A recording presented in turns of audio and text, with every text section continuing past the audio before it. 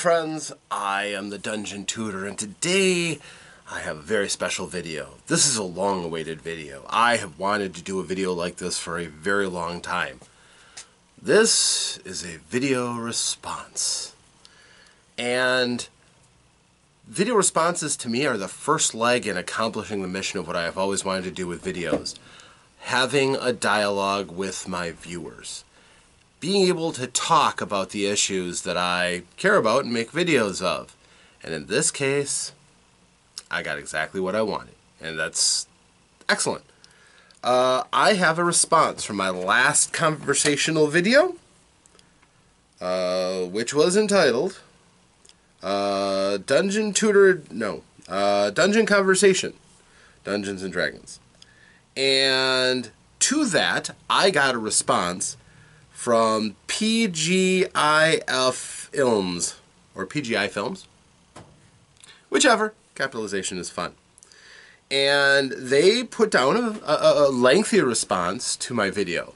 Now, this particular video I did was a conversational tone talking about my experiences with Dungeons and Dragons from the very beginning when I started playing in this hobby to today and it covered a wide swath from the basic edition, basic red box from uh, the the BECMI Dungeons and Dragons experience to uh, first edition AD&D, second edition AD&D, third edition 3.5, fourth edition, fifth edition, and um, yeah, you know, people seem to like the video. It was a good video, but again, it generated this kind of a response. And because of the response is lengthy and I think fairly, fairly well thought out, I thought it might be ideal to respond. This will do two things. Number one, it continues the conversation. Number two, it shows folks that, hey, this is a guy who cares about our input too and will answer our questions and will respond to our thoughts on something creating these dialogue videos. So I think it's very important and I am very eager to do this. So I'm going to tuck right in and cover the response. So bear with me, please. Uh, the time comment on this, uh, timestamps on comments often aren't all that useful, but if you're following along at home, uh, this this kind of puts it about midway through after I've been talking at length about again what Dungeons and Dragons was like. But this is this is useful. Uh, the quote, that was not in any of the books expressly. This is in response to my take, or lack of recollection, of the old way that we had of resolving does this work or does this not, if it's not expressly in combat, which is what early versions of Dungeons and Dragons were ex exclusively concerned with. We often had the method of rolling a 20 sided die and trying to get under your attribute that is close most closely linked to what you're trying to do. This is in lieu of having any kind of skills because the earliest edition didn't really have skills in that method. So this was widely used. It was used by some of my earliest groups in uh, playing uh, first edition AD&D. I have never seen a book expressly say this. It feels house rulesy, and I'll explain why in a, in a second. But first, their comment. When playing BECMI In First Edition, when an existing proficiency from Oriental Adventures, Dungeoneer's Survival Guide, or Wilderness Survival Guide didn't fit. There was a proficiency system in Advanced Dungeons and Dragons. There wasn't anything in BECMI or BX.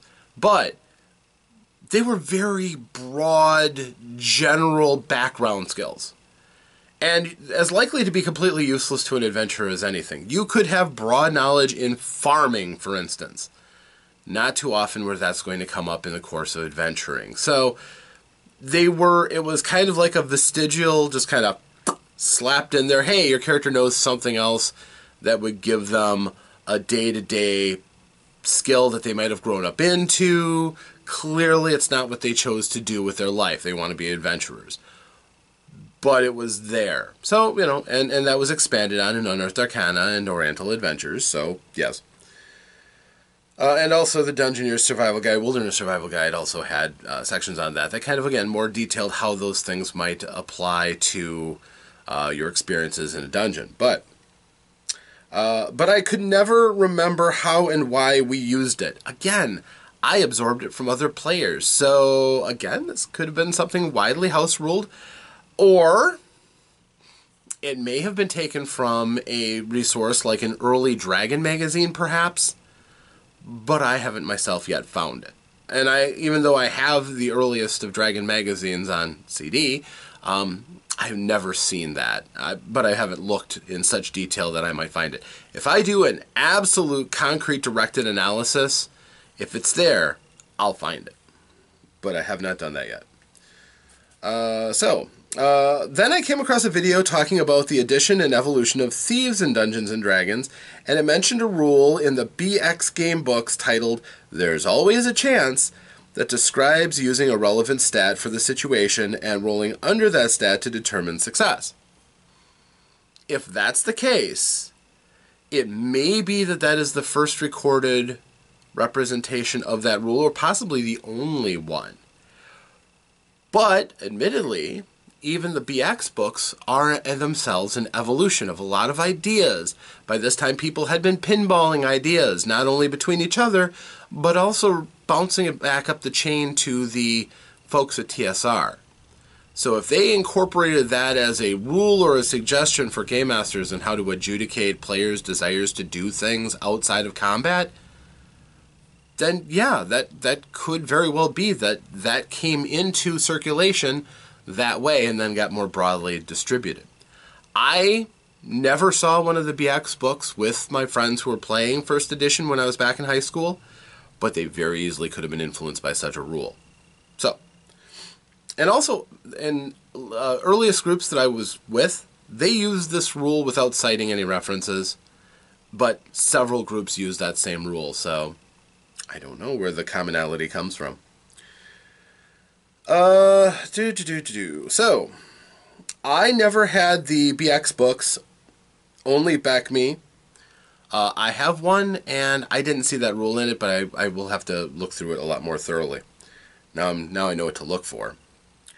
Uh, though I can't remember it in the back BECMI basic books if they had that rule, I can only assume it did because we were using that rule for task and skill rolls in our BECMI game.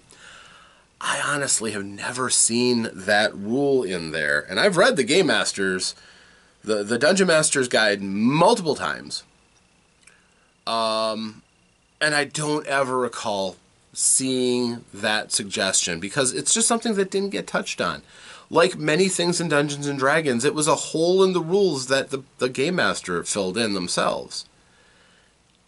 Now, I'm not saying that that doesn't exist, and I, I cannot after having rifled through my memory, I can't remember seeing it, but I cannot say that it was never there. So we will have to do a better analysis on that. But uh, you have the same experience apparently as I did, which is kind of cool. I'm interested if other old old time players and game masters had the same experience. So that's that's interesting. Uh, so later on, uh, timestamp uh, 4230. It is very much likely there was stuff like that in second edition as well, especially with all of the kits. Okay, we talked about the evolution of Dungeons and Dragons through the second edition of the uh, Player's Handbook. And again, the idea of changing the core of the rules as related to classes because there were kits that more directly focused your character beyond just the core class they would give them often new powers and abilities at the expense of some of the ones the class always had had. Uh, this allowed you to customize your character a little bit more fully, often because of the limited amount of playtesting, often allowed you to power game with some of the classes that just were functionally more powerful. But, uh, returning to this, kits added more distinguished flavors to characters but the difference between pre second edition flavoring and second edition is that second edition kits provided a mechanical rule set where prior editions needed the DM to homebrew possible bonuses and penalties. Now, maybe the person behind this comment is a lot more experienced in Game Masters homebrewing like crazy. I didn't have that experience. For us, the classes were pretty inviolate.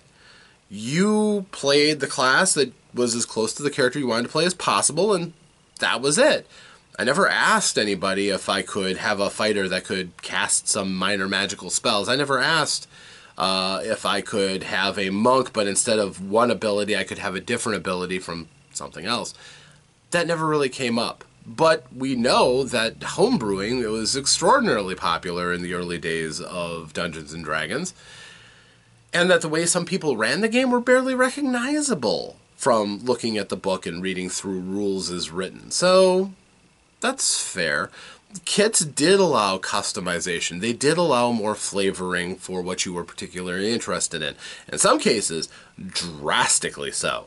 Almost leaving very little of the core class besides maybe the hit dice or maybe an ability or two, but after that going off in completely different directions. And some people would would say that just proves that Dungeons and Dragons was so beloved, people just wanted to add their own stamp to it and continue to have more and more choices and more and more flair, which leads us into the third edition of granted by Wizards of the Coast instead of TSR, but getting an almost incredible, almost overwhelming amount of choice.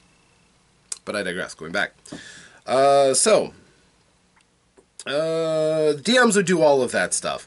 Take, for example, a swashbuckler type character in a nautical themed adventure where the party had acquired a ship of their own and set out as privateers and pirates. How would this character be distinguished mechanically in a pre second edition game without homebrewing? Well, I mean, earlier on, you could have the secondary character skills of uh, nautical, seamanship, navigator, whatever.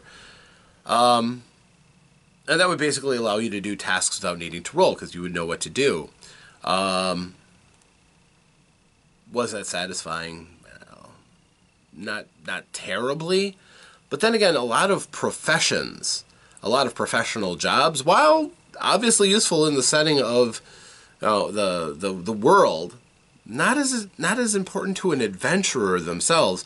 That's why I think the sailor uh, background in fifth edition D and D has less players using that background than any other one, as far as I know. I've only had one character that I've ever come up across that had a sailor background. Unless you're doing a nautical themed adventure, there's not much point in it. So, continuing. Uh, yes. Uh, do, do, do, do, do. In second edition, you simply adopted a kit and you got to stand out a bit from characters of the same class that didn't have the kit. Granted, several of the kits presented in the expanded second edition Splat books, like the, the Complete Fighter's Guide, etc., etc., uh, granted, several of those were unbalanced when compared to benefits granted by other kits, but no kit was actually overpowered with the ability to destroy actual game balance within this campaign by causing increasing power creep. I would disagree with that. There's a couple of notorious kits uh, that you know wholesale just either ignored uh, or obliterated uh, disadvantages that some classes had as balancing issues, uh, or took on all of the useful things of an entirely different class within them while keeping most of the benefits.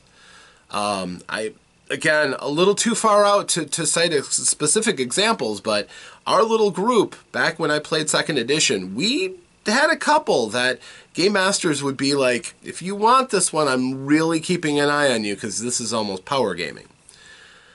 I think there was a kit for the Rangers. Now, the Rangers have not always been the strongest of classes and everything, but I believe they had one kit called the Justicar, which gave them paladin abilities along with being rangering abilities. I could be wrong in which which class that was, but that was one that was per- widely targeted as being rather uh, abusive in terms of what they what it took away as far as the abilities that it gave you.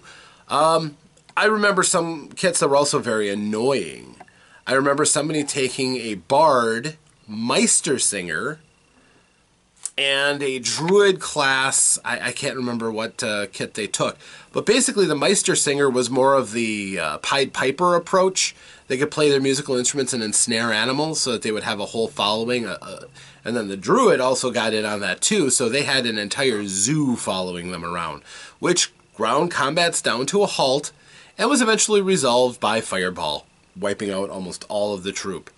They replaced that two days later, and the dungeon master said, "No, look, no, we're not going to have you with over 20 creatures. It's just not going to happen." So that uh, that was another example. But no, uh, some of them were so unbalanced. Uh, I, I, I remember I took a kit of uh, feral. I think this was also a rangering kit. Uh, raised by wolves. And there were some of the abilities that were in it were just so good and so strong that it was a no-brainer. One of these days I'll have to track down some of those books and we'll look into those. But I think the only one I have right now is the the Complete Wizards book. But uh, some of them I just remember were were a little bit of trouble. Uh, so, but of course, too, one other thing that's important to remember Dungeons and Dragons rarely has worried itself all that much until recently about balance in general. If another character is more powerful than you, they're still on your side. So your side got stronger.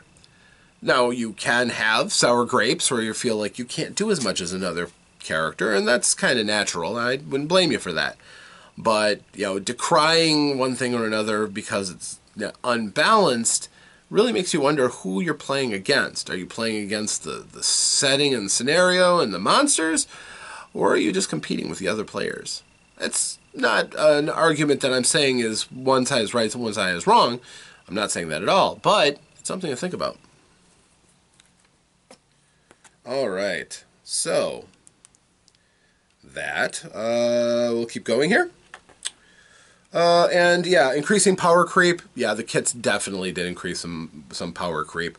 They really were some of the first things that we encountered that really bloated the uh, the the range of options in a point where you would target specific things you cared about, and then the whole idea of builds kind of poured in after that. But it isn't the first time, because as long as Dragon Magazine was out, Dragon had all kinds of experimental rules to add to your game, and not all of those were the most well considered for game balance either, so. Uh, kits alone and a lot of the second edition stuff was not the exclusive playground of power gamers and, and rules lawyers and the like, so it's important to remember that. If I remember correctly, you could only adopt one kit at any given time to define your character's flavor focus, and you couldn't pick a kit for your race and then a kit for each of your classes in order to stack benefits. Yeah, but just like anything, any game master can overrule that. That's not a carved in stone guideline either. As a matter of fact, I don't even remember if that was a rule or not. I think by general purpose, we never did that, but because each of those kits was usually so drilled down on one focus, there really wasn't room for expanding into other things. And if you were already getting what you wanted out of that class, why would you multi-class? So, um, yeah, it, it was, it still was an issue. Um, so, yeah. I never had an issue with power creep in second edition, no matter how my players chose to multi-class or whichever kit they chose. Cool. I do remember plenty of times though in second edition where I felt like a second class character because other people had picked a very strong class and then chose to dominate in whatever area they wanted to dominate, which usually was just raw damage, just smoking entire encounters before the rest of us could really get our blades wet. Um, and that's mostly fine. I mostly play secondary characters anyhow, but there were situations of haves and have nots. Sometimes it was because of great dice rolls. Sometimes it was because kits and things allowed you to focus to the point where you were completely incompetent in some areas of what your overall class would suggest, but you got so much stronger in certain areas. So that was that was a thing. But I'm glad you never had to worry about that. If your players all got along so well together that they didn't care, or weren't competing with each other, that's great.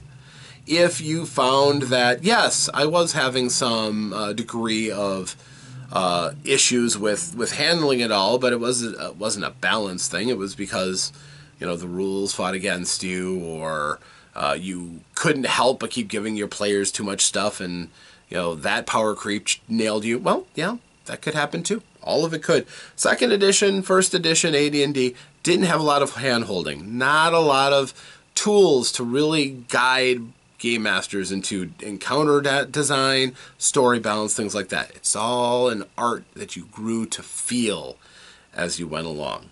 So. Uh, so I think the reason third edition onward, especially fifth edition, had so much game destroying power creep was because the rules design moved further and further away from having any sort of restrictions, limitations, or even penalties and disadvantages when choosing specific classes and or abilities. Well, I mean that's part of it. I mean, 4th edition was kind of like a violent lashback against that, balancing everything to the point where it was all one smooth adventuring pace where everybody was pretty durable, everybody could do just about anything fairly well. Um, and everybody had a raft of different abilities that they could employ, just like the guys next to them. Nobody was really wanting for anything because you had almost all the abilities that you really needed to get by. You're fine. Um, but as far as 5th edition goes, there was definitely elements where they attempted to, to rebalance by bringing the numbers down so that you kept most of the numbers you'll ever have to deal with to f- 5 and below. Max strength, 20. It's plus 5. It's a plus 5 to hit, plus 5 to damage. Nice. You'll use that over and over again. Plus 5 to strength saving throws, plus 5 to certain skills like athletics. Wonderful. Absolutely. But that's it. It's it's a straight plus five. There's almost no situation where you're going to just give a gimme because your your stat is so ridiculous. Whereas you could gimmick third edition tremendously to completely obviate some challenges, to uh, you know, absolutely uh, shoot your stats through the roof in terms of dealing damage, in terms of uh, your armor class, in terms of your saving throws, in terms whatever you were interested in. There was a kit around, or sorry, not a kit. There were prestige classes around, or magical items to form your build of choice. Um, as far as the restrictions, though, uh, and why uh, game destroying power creep. Again, we were talking about I, you never having had a problem with with power creep in second edition. Um, I think some people did. That was where you really started to feel it because of, especially when they started making changes. And it doesn't sound like uh, this particular person, uh, PGI Films, doesn't sound like you really got to play with the skills and powers books or the combat options books. Those drastically monkeyed around with the mechanics of the game, tinkering with them to create, in some cases, pretty slanted and unfair advantages. Even though there was more playtesting with that, I think, than some of the other stuff, it really did open up the door for completely getting under the hood of a character and tinkering and manipulating so that you could power game and min max to your heart's content. Uh, and, and, we will definitely be covering those books because I think they were absolutely essential landmark books in terms of changing the face of how uh, Dungeons and Dragons itself adapted and evolved and grew. Um, but yeah, uh, as far as game destroying and balance and everything like that, that happened all the way back from Advanced Dungeons and Dragons. When you had a wizard, the wizard could break the game. That's how strong magic has almost always been. In uh, the original D&D, OG D&D, that still used chainmail as the engine for its rules, your wizards were basically artillery. And you invested in sometimes lives to keep them alive, but also all of your efforts to keep your spellcasters alive. Clerics, because they'll keep everyone else alive down the road with their healing. Wizards, because they're your artillery. They are the god of war of adventuring. They can direct such firepower that can completely obliterate encounters and completely change the face of the dungeon. Uh, sometimes their powers are, are great enough they can change circumstances to get rid of traps.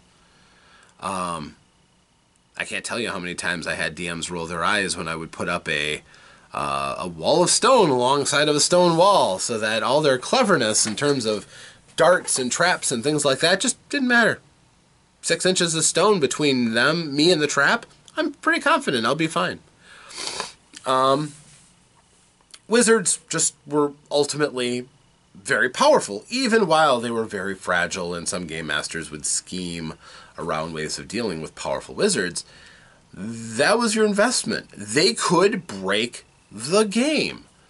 And, uh, you know, at, at, some point, most of the things that are weaknesses of wizards are there as a game balance thing. So it was really hard to keep a wizard alive long enough for them to get to that point. But when they could, well, there's a reason why people like Mordenkainen, Tenser, Big B, Luke, those are all wizards. All the most important characters of the game of Dungeons and Dragons were wizards. We know that Gary Gygax, the co-creator of the game, had a strong bias towards heroic warrior type characters like Conan, but even so, he couldn't deny the fact that wizards rule the world if they wanted to.